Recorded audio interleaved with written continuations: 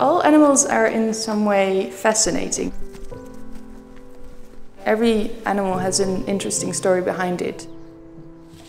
Once you get to know more about animals or even nature as a whole, you get more and more interested in it.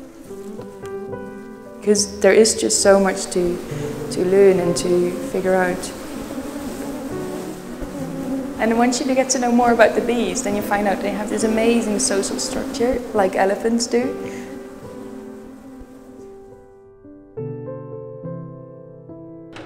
It's just really, really amazing what you can learn from, from really looking and from really digging into a subject, whichever animal it is. And there's so much to learn from nature. And it's all connected.